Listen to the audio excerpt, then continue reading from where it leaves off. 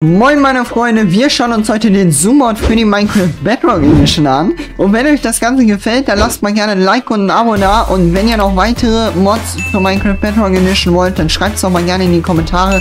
Wenn ihr dann den Link in der Videobeschreibung mal wieder gefolgt seid, dann findet ihr hier den Vox Changer, den ihr natürlich hier unten erstmal installieren könnt. Wichtig gesagt zu haben, das Ganze funktioniert leider nur für die Windows 10 Edition auf dem PC der Minecraft Bedrock Edition. Das heißt, auf dem Handy wird es bisher noch nicht funktionieren. Ich weiß, dass das ziemlich doof ist. Das heißt, wenn es dazu neue Infos gibt, sage ich euch auf jeden Fall Bescheid. Und wenn ihr dazu selber schon Infos habt, dann schreibt es auch gerne mal in die Kommentare rein. Hier könnt ihr dann das Ganze erstmal öffnen auf eurem Desktop und auf Start drücken. Start funktioniert natürlich nur, wenn ihr die Minecraft Bedrock Edition im Hintergrund geöffnet habt. Hier könnt ihr dann erstmal eure Taste festlegen, worauf ihr denn eigentlich den Zoom-Mod haben wollt. Und dann geht ihr nur noch in eure Minecraft-Welt rein und dann könnt ihr auch schon Zoom auf eurer festgelegten Taste. Ist eigentlich voll easy. Ich hoffe, euch hat das Ganze gefallen und wenn ihr mehr von solchen Videos wollt, dann lasst auf jeden Fall ein Like und ein Abo da und schaut euch noch gerne das Video zum Replay-Mod an, mit dem ihr weiterhin richtig krasse Aufnahmen für die Minecraft Bedrock Edition erstellen könnt.